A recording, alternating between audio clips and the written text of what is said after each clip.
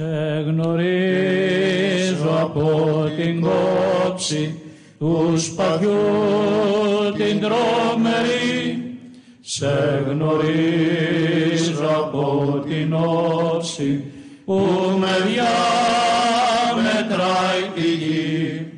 Απ' τα κόκαλα βγαλμένη των Ελλήνων τα ιερά και στα πρώτα αγριωμένη χαίρε ο χαίρε ελευθεριά και στα πρώτα αγριωμένη χαίρε ο χαίρε ελευθεριά και στα πρώτα αγριωμένη χαίρε ο χαίρε ελευθεριά.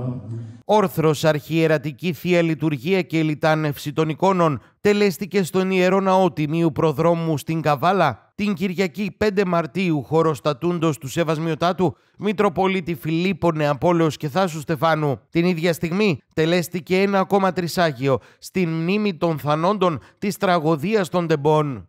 Το τρισάγιο αυτό έγινε μετά από εντολή της Διαρκούς Ιεράς Συνόδου της Εκκλησίας μας προκειμένου σε όλη την επικράτεια σήμερα να ψαλεί τρισάγιο για τους ανθρώπους αυτούς τους οποίους σχεδόν γνωρίσαμε όλοι μετά από αυτό το τραγικό δυστύχημα που συνέβη εκεί και τους οποίους τους αισθανόμεθα σαν να είναι δικοί μας άνθρωποι. Γι' αυτόν ακριβώς τον λόγο και η πολιτεία όρισε τριήμερο πένθος σε αυτήν την περίσταση αλλά και γι' αυτόν ακριβώς το λόγο και όλοι μας αυτή την περίοδο αισθανόμεθα κάπως διαφορετικά.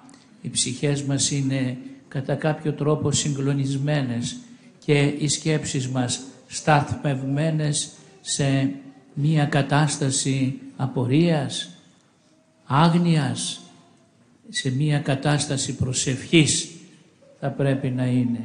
Ο Θεός να τους αναπαύει και να δίνει παρηγορία στους συγγενείς οι οποίοι πραγματικά σηκώνουν ίσως το μεγαλύτερο βάρος στη ζωή τους μέχρι τώρα. Βέβαια ο Θεός κρίνει πώς συμβαίνουν αυτά τα πράγματα και ο μόνος δίκαιος κριτής είναι εκείνος. Γράφει όμως και κάπου ο ίδιος ο Χριστός ότι λέγοντας οι Ευαγγελιστές έγραψαν με τα λόγια του Χριστού ότι σε άλλα φταίμε και σε άλλα λαμβάνουμε τιμωρία. Αυτό ίσως είναι δυσ, δυσερμήνευτο γιατί ακριβώς θα πει κάποιος για ποιο λόγο εγώ τώρα να υφίσταμαι αυτό το γεγονός, το δύσκολο, τι έφτεξα,